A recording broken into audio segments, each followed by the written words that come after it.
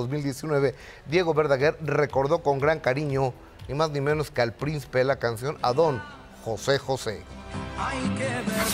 Durante las actividades de la Expo Compositores 2019, Diego Verdaguer recibió un reconocimiento especial por sus 50 años de trayectoria. El cantante agradeció este gran gesto. Hermosas. Soy un ser este, muy, muy, muy, pero muy agradecido con la vida. No puedo decir que fue fácil, nada fue fácil, pero, pero estoy, estoy bien, estoy contento, estoy muy agradecido con, con lo que he podido recoger de experiencia hasta hoy.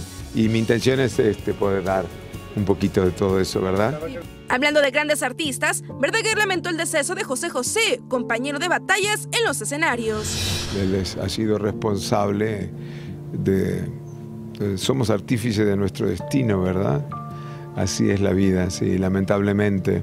Porque él debería estar aquí disfrutando de su gloria y su fama, de su voz y de todo lo demás.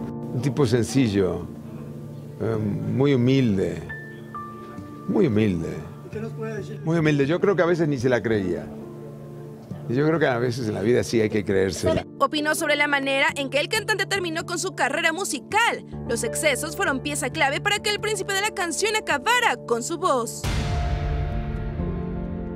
Y lamento que hace más de 15 años México haya perdido a, a- a un cantante como José José.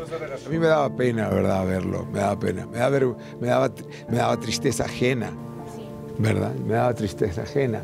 Porque lo más preciado de un artista es ser artista. Y de un cantante es cantar. Y no poder cantar y ser tan amado y tan famoso con tan hermosas canciones es, es muy triste. Fue tajante al responder si en algún momento llegó a caer en las garras de la drogadicción o el alcoholismo como muchos otros famosos. No.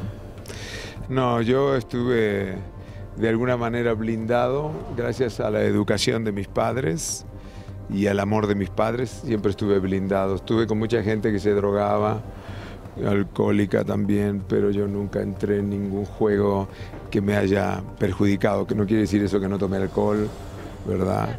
Pero sinceramente nunca entré en ningún juego que me haya traído complicaciones después. Ay, qué fuerte declaración. Ay, qué fuerte, sí. Diego Verdaguer y bueno, hablando del gran príncipe José José, ya debe haber sido muy frustrante para José, un futbolista que no pueda jugar fútbol, Claro. un...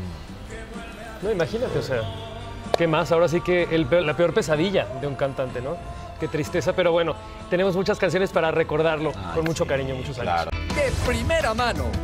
Lunes a viernes, 3 p.m. Participa en Imagen Televisión.